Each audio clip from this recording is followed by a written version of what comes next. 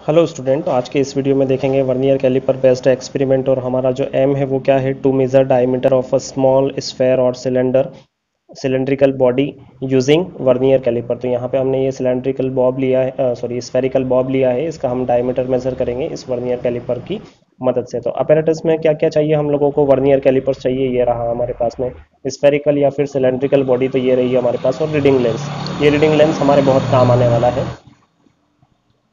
Observation देखें हम लोग। तो ऑब्जर्वेशन में सबसे पहले हमको क्या पता होना चाहिए? हमको पता होना चाहिए least count of vernier caliper कैसे डिटरमाइन करते हैं? The value of one division on main scale यहाँ पे देखिए वर्नियर कैलिपर में दो स्केल होती है। एक तो ये यहाँ पे जो एनग्रेव्ड की है पूरी यहाँ पे, ये सेंटीमीटर स्केल है, ये मेन स्केल है। और अगर आप इंच में डिटरमाइन करना चाहते हैं अपनी वैल्यू को तो यहाँ पे ये इंच वाली ऊपर स्केल है। यहाँ पे देख सकते हैं, ये लिखा हुआ है इंच और ये लिखा हुआ है सेंटीमीटर दूसरी होती है वर्नियर स्केल जो कि यहाँ पे ये जो इस पार्ट में है देख सकते हैं आप लोग।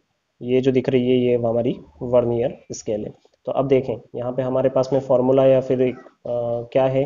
The value of one division on main scale तो ये जो मेन स्केल है हमारे पास में इस पे वन डिवीज़न मतलब ये जो दो सक्सेसिव लाइन होती है ना इनके बीच की जो गैप होती है उसको बोलते हैं हम लोग वन डिवीज़न ठीक है? तो वन डिवीज़न की वैल्यू कितनी है? ज़ीरो पॉइंट वन सेंटीमीटर या फिर आप उसको मिलीमीटर में क्या लिख सकते हैं? वन मिलीमीटर अब डिनोमिनेटर में क्या है? Total number of division on vernier scale तो यहाँ पे देखिए, ये वर्नियर स्केल है और इसमें वर्नियर स्केल में कितने डिवीज़न है यहाँ पे?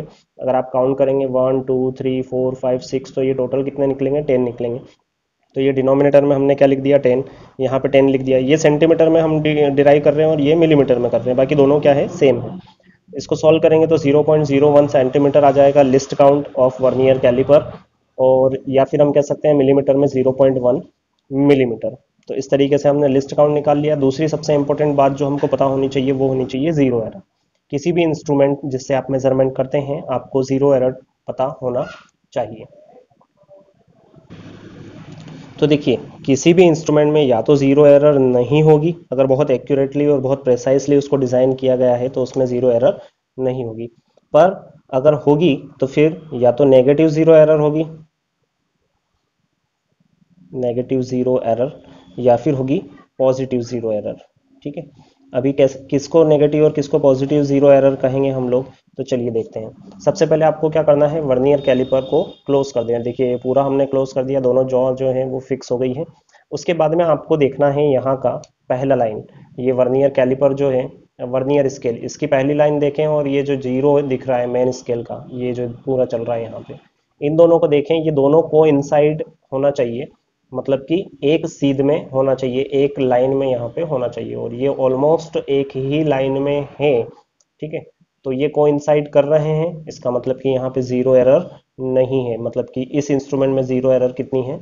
ज़ीरो है। मतलब आप इससे जो रिज़ल्ट लेंगे वो आपका एक्चुअल ओरिजिनल रिज़ल्ट ही आपको मिलेगा। पर कई इंस्ट्रूमेंट ऐसे होते हैं कि अगर हम लोग उनको क्लोज करें तो थोड़े से आगे या फिर हो जाते हैं, पीछे, इस तरीके से देखें।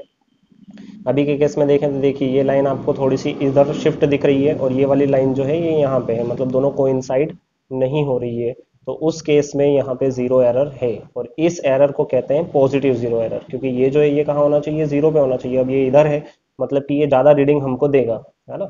और अगर ये वाला ज़ीरो जो है वर्नियर स्केल का, ये इधर आ जाता है, मान लो, इस लाइन को इधर क्रॉस कर लेता है तो वो नेगेटिव ज़ीरो एरर कहलाती है। क्योंकि उस केस में हमारे पास में जो रीडिंग आएगी, वो कम आएगी। तो इसको भी हम करेक्ट करते हैं, क्योंकि अभी मान लीजिए कि हमारे इसमें ज़ीरो एरर नहीं है, जैसा कि मैं आपको इंस्ट्रूमेंट को क्लोज करके दिखा रहा हूँ तो दोनों लाइनें जो है वो एक दूसरे को कोइंसाइड कर रही है, ये अलाइन है दोनों लाइनें, ठीक है? तो इस स्थिति में हमारे इस इंस्ट्रूमेंट में ज़ीरो एरर ज़ीरो नहीं मान रहा हूँ मैं। मैंने मान लिया कि इसमें ज़ीरो एरर है और वो कितनी है? Zero point zero three centimetre zero error है, और वो भी कौन सी है? पॉजिटिव। पॉजिटिव होगी तो प्लस लिखोगे आप और नेगेटिव होगी तो नेगेटिव लिखोगे। मतलब यहाँ पे इस तरीके से इसको अगर आप देखना चाहते हैं, ज़ीरो एरर कैसे डिटरमाइन करते हैं तो आप मेरा वीडियो है प्लेलिस्ट में से देख लीजिएगा, वहाँ मिल जाएगा। अदरवाइज़ ये वीडियो बहुत लंबा हो जाएगा। अब हम लोग डायमीटर को मेज़र करते हैं स्फेयर के या सिलेंडर के। तो इस तरीके की एक ऑब्जर्वेशन टेबल होनी चाहिए, या थोड़ा बहुत आपको डिफरेंस इसमें मिल सकता है।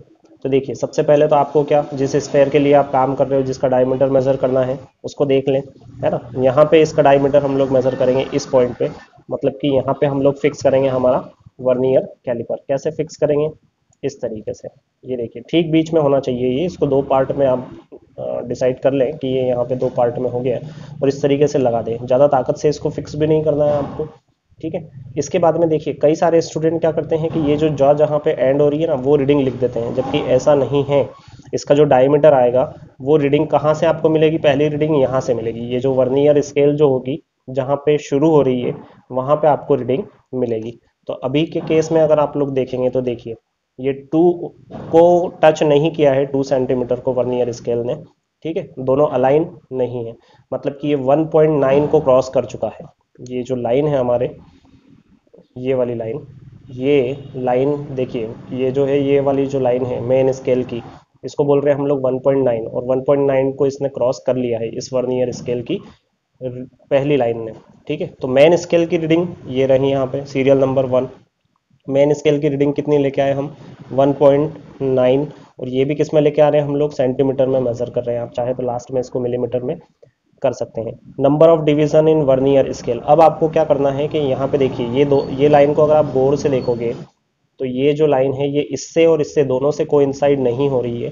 तो अब इन दूसरी दस लाइनों में से एक लाइन ऐसी आपको ढूंढना है, जो कि ऊपर वाली ये जो यहाँ पे लाइनें दिख रही है ना, ये वाली जो लाइन है, इनसे को होगी।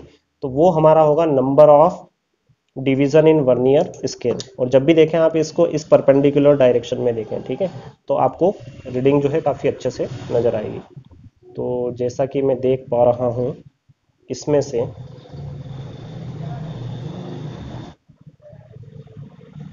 आप अगर जरा गौर से देखेंगे तो ये जो एट्थ वाला डिवीज़न है, देखिए, ये एग्जैक्टली अलाइन है इस लाइन के साथ में, ठीक है? ये वाला एट्थ ये एट्थ हो गया, फिर अगला नाइन और ये वाला क्या हो जाएगा? टेन हो जाएगा। तो हम लोगों के पास में number of division on vernier scale पे क्या मिला है? एट मिला है। आप अगर बहुत प्रिसाइजली देखोगे ना तो आपको एक लाइन इसके कोइंसाइड दिखेगी। अदरवाइज़ आप नॉर्मली देखेंगे तो आपको लगेगा कि सारी लाइनें जो है वो ऊपर वाली सभी लाइनों के कोइंसाइड है। तो यहाँ पे नंबर ऑफ़ डिवीज़न मैंने कितना ले लिया? Zero point sorry number of division कितना है? एट है। ये डेसिमल वगैरह नहीं लगाना है। अब देखिए वर्नियर स्केल की रीडिंग आपको लिखना है। तो आप क्या लेके आए हो? Eight number of division on vernier scale multiply कर दो least count of vernier scale जो कि हमने ऊपर डिटरमाइन किया था, कितना था? 0.01 सेंटीमीटर ठीक है, यहाँ पे लिख देंगे हम लोग इन सेंटीमीटर तो बार बार हमको सभी जगह सेंटीमीटर लिखने की ज़रूरत नहीं पड़ेगी। तो हमारी वर्नियर स्केल की रीडिंग कितनी होगी? ज़ीरो पॉइंट ज़ीरो एट इन दोनों को मल्टीप्लाई कर लिया तो ये आंसर आ गया। टोटल रीडिंग में हमको क्या करना है? Main scale reading plus vernier scale reading मतलब कि ये मेन स्केल रीडिंग हो गई और ये वर्नियर स्केल रीडिंग हो गई। इन दोनों को ऐड कर देंगे आप, इनका सम निकालेंगे। तो वो आ जाएगा 1.98 और ये रीडिंग भी किसमें आएगी? इन सेंटीमीटर तो इस तरीके से हमने वर्नियर कैलिपर की मदद से एक स्फेरिकल या फिर सिलेंड्रिकल जो बॉडी था उसका डायमीटर जो है हमने मेज़र कर लिया। पर क्योंकि हम लोगों को अभी और भी डायमीटर मेज़र करना है, आप चाहें तो यहाँ पे two three four five times ज़्यादा एक्यूरेसी के लिए। अभी आपने इसको इस तरीके से फिक्स किया था।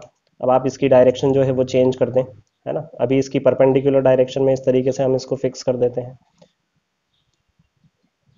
अब अगर हम लोग रीडिंग देखें तो देखिए, फिर से 1.9 को क्रॉस कर रही है हमारी वर्नियर स्केल ठीक है ना? रीडिंग यहाँ से नहीं आएगी। कहाँ से आएगी? वर्नियर स्केल की जो पहली लाइन होगी, वो किस लाइन को क्रॉस कर रही है मेन स्केल की? वो हमारी रीडिंग होगी। तो यहाँ पे फिर से कितना आएगा? 1.9 ज़्यादातर ध्यान रखिएगा कि ये जो मेन स्केल रीडिंग है ना, इसमें वेरिएशन बहुत रेयर केस में आता है। ज़्यादातर ये जो नंबर ऑफ़ डिवीज़न है, इनमें ही चेंजेस आते हैं। तो चलिए, अब फिर से यहाँ पे वर्नियर स्केल की एक लाइन ऐसे देखते हैं जो इन मेन स्केल की लाइन से अलाइन हो रही है। और परपेंडिकुलरली अगर हम लोग देखें तो फिर से ये देखिए, ये एट्थ नहीं, इस बार ये जो नाइन्थ लाइन है, ये एग्जैक्टली अलाइन दिख रही है हम लोगों को, है ना? तो ये नंबर ऑफ़ डिवीज़न कितना हो गया?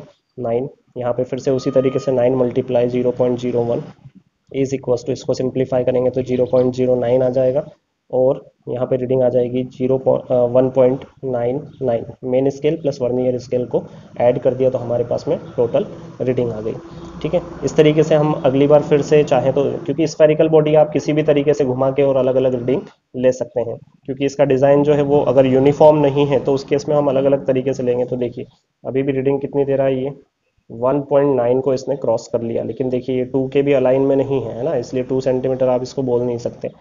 1.9 और अब फिर से अगर आप देखोगे तो ये नाइन्थ लाइन जो है, यही एग्जैक्टली अलाइन हो रही है इसके। तो उस केस में यहाँ पे नाइन आ गया। यहाँ पे भी नाइन टाइम्स इसके लिस्ट काउंट से मल्टीप्लाई कर दो। इज़ इक्वल्स टू कितना हो जाएगा? ज़ीरो पॉइंट ज़ीरो नाइन और यहाँ पे आ जाएगा वन पॉइंट नाइन नाइन इस तरीके से आप कई सारी रीडिंग ले सकते हैं। आपने क्योंकि मल्टीपल रीडिंग ली है तो आपको मीन डायमीटर निकालना पड़ेगा। मतलब कितनी रीडिंग ली है आपने? Three reading 1.98 plus 1.99 plus 1.99 denominator में आ जाएगा। कितने? वन टू थ्री तो थ्री से डिवाइड कर दे। अगर फोर रीडिंग या फाइव रीडिंग लिए तो यहाँ पे फोर या फाइव टाइम्स आपको लिखना है और उसको फोर या फाइव से डिवाइड करना है। ये मेन निकालना है एवरेज निकालना है। तो इसका जो एवरेज आएगा, वो यहाँ पे आप नोट कर लें। ये हमारी जो वैल्यू है, क्या हो जाएगी? ऑब्ज़र्व डायमीटर ठीक है? अभी क्योंकि हमारे, हमने ये माना था कि अगर किसी इंस्ट्रूमेंट में ज़ीरो एरर हो पॉजिटिव या नेगेटिव तो उसको करेक्ट करना पड़ता है हमको। अभी क्योंकि हमारे इस इंस्ट्रूमेंट में ज़ीरो एरर नहीं है मतलब यहाँ जो आंसर आएगा वही मीन डायमीटर हो जाएगा इस स्फेरिकल बॉडी का। पर अगर मान लीजिए ज़ीरो एरर है तो उस केस में क्या करेंगे? उसको कैसे करेक्ट करेंगे? तो वो चलिए देखते हैं। अभी एवरेज वैल्यू निकाली है तो वो आई है हमारे पास 1.99 सेंटीमीटर ये हमारा हो गया ऑब्ज़र्व वैल्यू 1.99 सेंटीमीटर। अब बॉब का अगर हम लोग रियल डायमीटर निकालें तो वो कितना होगा? ऑब्ज़र्व डायमीटर कितना लेके आए 1.99 और minus zero error with sign, है ना? तो ज़ीरो एरर हमने क्या मानी थी कि हमारे इंस्ट्रूमेंट में 0.03 है और यहाँ पे पॉजिटिव एरर थी, इसलिए प्लस लगाना है। अगर नेगेटिव ज़ीरो एरर हो तो क्या लगाना है? नेगेटिव साइन यहाँ पे प्लेस करना पड़ेगा। नेगेटिव होगा तो नेगेटिव नेगेटिव क्या हो जाता? पॉजिटिव हो जाता। अभी यहाँ पे नेगेटिव पॉजिटिव क्या हो जाएगा? Negative zero point zero three one point nine nine तो ये हो जाएगा यहाँ पे वन पॉइंट नाइन और सिक्स और क्योंकि ये पूरा कैलकुलेशन हमने किसमें किया है? सेंटीमीटर में तो आ जाएगा सेंटीमीटर देखिए, अगर पॉजिटिव एरर हो, ये नेगेटिव एरर होती तो क्या होता? 1.99 माइनस नेगेटिव साइन भी लिखना है आपको ज़ीरो एरर का। 0.03 ये हो जाता 1.99 माइनस माइनस प्लस हो जाता 0.03 हो जाता, और ये हो जाएगा 2.02 इस तरीके से ये हमारी वैल्यू आती सेंटीमीटर में। तो अगर हम लोग रिज़ल्ट देखें, ये ऑब्जर्वेशन से हमारे पास में आ गया कैलकुलेशन से डायमीटर ऑफ़ गिवन स्फेयर और सिलेंडर इज़ कितना आ गया? 1.96 सेंटीमीटर। अगर ये जो है पॉजिटिव एरर है और ये अगर मान लीजिए नेगेटिव ज़ीरो एरर है तो आंसर आता 2.02 सेंटीमीटर, ठीक है? प्रिकॉशन क्या रखना है आपको? Zero error should be taken carefully इसकी जो ज़ीरो एरर है वो आपको सबसे पहले मेजर करना है।